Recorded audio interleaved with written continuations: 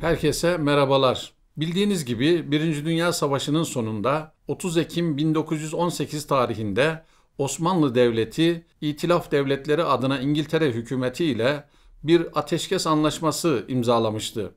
Tarihe Mondros Ateşkes Anlaşması olarak geçen bu anlaşmanın 7. maddesine göre İtilaf devletleri Osmanlı toprakları üzerinde kendi emniyetleri açısından lüzumlu gördükleri stratejik noktalara asker çıkarabilecek ve oraları işgal edebileceklerdi. İşte bu anlaşmanın 7. maddesine dayanarak İtilaf devletleri 13 Kasım 1918'de İstanbul'u resmen ve fiilen işgal ederler. İşgal konusunda İngilizler ve Fransızlar adeta birbirleriyle yarışıyorlardı.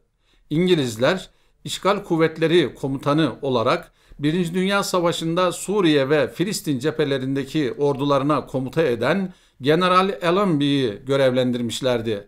Fransızlar ise buna karşılık yine Birinci Dünya Savaşı'nda Balkan cephesindeki askerlerine komuta eden General Franche Despere'yi görevlendirmişlerdi. 8 Şubat 1919 günü Fransız General Franche Despere İstanbul'a gelir.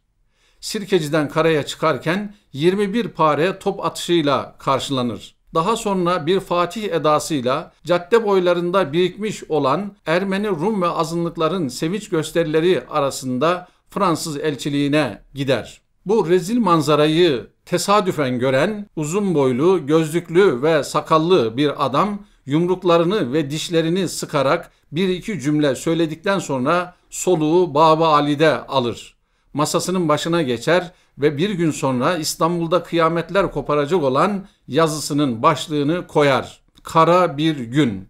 Bu vatansever ve cesur adam Süleyman Nazif'tir. Diyarbakırlı köklü bir aileden gelen Süleyman Nazif'in babası Said Paşa, adını taşıdığı dedesi Süleyman Nazif ve büyük dedesi İbrahim Cehdi ve diğer ataları Osmanlı Devleti'nin çeşitli makamlarında görev yapmış önemli kişilerdir. Süleyman Nazif kendisi de Kastamonu, Trabzon, Bağdat, Basra ve Musul gibi önemli vilayetlerde valilikler yapmış, üstelik 20'den fazla kitap yazmış çok değerli bir şahsiyettir. Süleyman Nazif, İstanbul'un işgali üzerine yazdığı bu Kara Bir Gün başlıklı makalesini sansür kurulunda görevli kahraman bir görevlinin Yüzbaşı Aziz Hüdayi Bey'in diğer itilaf kuvvetlerinin temsilcilerine atlatarak izin vermesi üzerine 9 Şubat Pazar günü İstanbul'un en önemli gazetelerinden biri olan Hadisat gazetesinin birinci sayfasında siyah bir çerçeve içerisinde yayımlatır. Süleyman Nazif makalesinde bir gün önce yapılan taşkınlıkların Türk'ün ve İslam'ın kalbinde unutulmaz yaralar açtığını, asırlar geçse bile bu hüznün unutulmayacağını söyler ve bu acıyı çocuklarımıza ve torunlarımıza ağlayacak bir miras olarak terk edeceğiz diyordu. Almanlar 1871'de Paris'i işgal ettiklerinde Fransızlar bizim kadar hakaret görmemişlerdi diyerek Fransız generalin yaptıklarını lanetliyor ve sonunda da biz buna müstehak değildik diyemeyiz. Müstehak olmasaydık böyle bir felakete düşmezdik. Ne yapalım? Kader defterimizde böyle kederli bir satır da gizliymiş diye yazıyor ve ümitlerin kaybolmamasını istiyordu. Yazıyı okuyup tercüme ettiklerinde işgal kuvvetleri komutanı Fransız general hiddetlenir yumruğunu masaya vurarak bu yazıyı yazan kişinin derhal yakalanıp getirilmesini ve kurşuna dizilmesini ister. Bu arada dostları Süleyman Nazife şimdi işgal kuvvetleri askerleri gelir sizi yakalayıp götürürlerse biz de bir şey yapamayız size yazık olur diyerek kaçmasını tavsiye ederler. Süleyman Nazif'in dostlarına cevabı sert olur. Hayır kaçmayacağım. Hatta saklanma alçaklığını da göstermeyeceğim.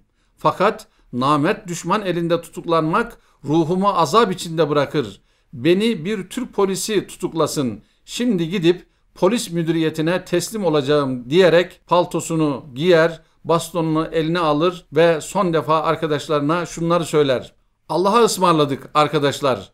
Türklüğü savunma suçu ile Türk hükümetine teslim olmaya gidiyorum. Kalbim ve vicdanım vazifesini yapmış olan insanların rahatlığı ile dolu. merak etmeyin yine görüşürüz diyerek polis müdüriyetine gider teslim olur. Polis müdürü Mehmet Ali Bey bütün baskılara hatta Baba Ali'den gelen telefon talimatına rağmen Süleyman Nazif'i işgal kuvvetlerine teslim etmez. Süleyman Nazif'in polis müdüriyetinde olduğunu duyan Ermeni ve Rum azınlıklar polis binasının etrafını sararlar. Olay büyümektedir. Bu arada beklenmedik bir gelişme olur. 1918 ve 1919 yıllarında Osmanlı Devleti'nin kısa süreli de olsa Posta Telgraf Nazırlığı ve Hariciye Nazırlığı görevlerinde bulunmuş Suriye Hristiyanlarından Yusuf Franco Paşa devreye girer. Söylentiye göre Yusuf Franco Paşa Fransa'da iyi tanınmaktadır ve işgal kuvvetleri komutanı Franche Desperen'in de bacanağıdır. Süleyman Nazif'in önemli bir kişi olduğunu, tutuklanması halinde büyük tepkiler olabileceğini generale anlatır. Ayrıca Süleyman Nazif'in Fransızcadan yaptığı tercümeleri de göstererek generali yumuşatır ve sonunda da generalle Süleyman Nazif'i buluşturur. Süleyman Nazif bu buluşmada Fransız generale çok sert sözler söyler. Siz Fransa'yı kendi şahsi emellerine alet etmek isteyen bir sürü Ermeni ve Rum yardakçılarının alkışlarına kapıldınız. Geldiniz, gelişinizi gördük. Tafsilata hacet yok. Ben o vaziyetin teessürü ve tesiriyle bu makaleyi yazdım. Bundan dolayı sizden af dilemiyorum. Çünkü ben vazifemi yaptım. Fakat siz bir Fransız generali sıfatıyla vazifenizi yapmadınız. Biz asırlarca Fransız kültürüne ve Fransa'nın büyüklüğüne inanmış ve Fransızcayı milli kültürümüze katmış bir milletiz. Fransa'nın ve tarihin sizi affetmesini arzu ederim der. Süleyman Nazif konuşmasını şöyle bitirir. Yine söylüyorum, siz bir Fransız generali olarak İstanbul'a böyle girmeyecektiniz.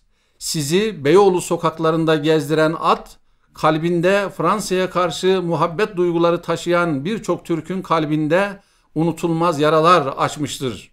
Süleyman Nazif'in bu ağır sözlerine karşı Fransız general herhangi bir şey söyleyemez. Üstelik onu tutuklama cesaretini de gösteremez. Sadece makalenin yayınlanmış olduğu Hadisat gazetesi kapatılır ve makalenin yayınlanmasına izin veren sansür kurulunda görevli Yüzbaşı Aziz Hüdayi Bey sürgün edilerek mesele bu şekilde kapatılmış olur. Süleyman Nazif bu olayla ilgili olarak daha sonra bazı hatırı sayılır dostların araya girmesiyle şehadet mertebesine yükselmekten alıkonulduğunu söyler. Ve tarih 23 Ocak 1920 İstanbul Darülfünunu konferans salonunda Türk dostu Pierre Loti'yi anma günü altında bir toplantı düzenlenir. Bu toplantıya Veliaht Abdülmecid Efendi de katılır. Onun yanında yaklaşık 5000 kişi de toplantıda hazır bulunmaktadır. İşgal kuvvetleri bu toplantının Pierre Loti'ye ve Fransa'ya bir şükran günü olacağını düşünerek engel olmazlar. Hatta toplantıya katılanlar da vardır. İşte bu toplantıda Süleyman Nazif kürsüye çıkarak en ön sırada oturan işgal kuvvetleri temsilcilerinin gözlerinin içine baka baka onları eleştiren tarihi bir konuşma yapar. Bu vatansever ve cesur yazar bu konuşmadan sonra İngilizler tarafından tutuklanarak Malta adasına sürgüne gönderilir. Orada 20 ay kalan Süleyman Nazif vatan hasretiyle yanıp tutuşur. İşgal kuvvetleri bu milletin kahraman evlatlarının silahları ve süngüleri karşısında tutunamayarak İstanbul'u ve Anadolu'yu terk ettiler. Ancak bize daha büyük sorunlar ve belalar bırakarak gittiler. Öyle görülüyor ki bize ve çocuklarımıza daha yüzyıllarca rahat ve huzur yüzü göstermeyecekler. Bu da bu coğrafyada yaşamanın bedeli olsa gerek. Bu sohbetimi Süleyman Nazif'in Malta adasında sürgündeyken vatan hasretiyle yazdığı Davus şiirinden birkaç beyit okuyarak tamamlamak istiyorum. Bu şebde cuşişi yadınla ağladım durdum. Gel ey kerimeyi tarih olan güzel yurdum. Ufukların nazarımdan nihan olup gideli, bu haktanı dünyanın karardı her şekli. Garibiyim bu yerin, şevki yok, harareti yok. Doğan batan güneşin günlerimle nispeti yok. Olunca yadıma hasret fiken fezayı vatan, semayı şarkı sual eylerim bulutlardan. Hoşçakalın.